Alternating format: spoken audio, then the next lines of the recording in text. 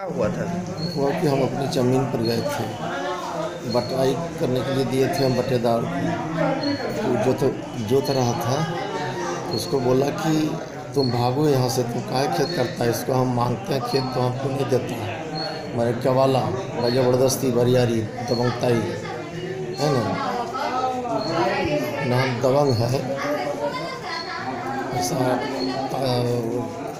ज़्यादा बकतगर है, पैसा है। बरियारी से ले लेंगे। ज़मीन लिखवाएँगे। जबरन वो मांग रहा था हाँ जबरन।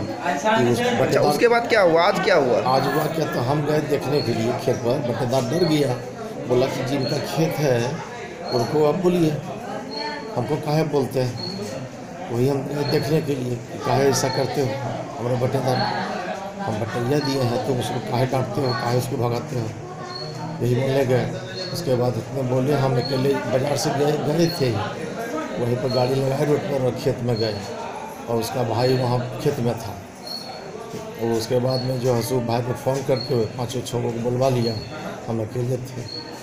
उसके बाद जो है सो मारना स्टार्ट कर दिया। क्या चीज़ से मारा? मैं पहले तलवार भी लाया लाठी पहना भी था सब कुछ था हम अकेले थे। क्या नाम हुआ आपका? रमन कुमार सिंह।